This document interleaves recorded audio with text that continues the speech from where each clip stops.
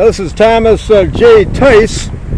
What a heck of a phenomena here. It looks to me like uh, gas is at 169, however. I think what uh, this Kroger store locally here has done has probably texted all its uh, Kroger card holders that the uh, cost of gas uh, apparently is going to go up. And there is a literally feeding frenzy here at the 196 uh, gallon gas. Don't tell me there isn't any pent-up demand for a less expensive uh, fuel. My Chevy Volt, I average about 40 miles per dollar's worth of locally made electricity. I, I have no idea uh, why these folks are uh, in such a frenzy. Uh, so can't tell you. But anyways, Chevy Volt. I am at about 20,000 miles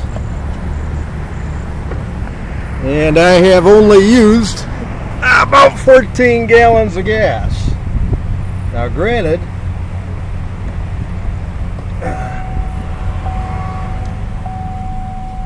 granted,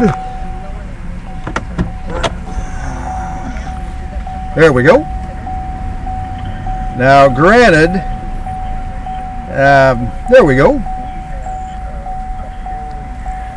Saves me about a hundred bucks a month even on the cheap gas. And if there's some uh, additional uh, uh, change in things, some instability and gas goes back up to its traditional 380, 390, 360 a gallon, I'll be saving 200 bucks a month in gas. So there we are right there. Uh, again,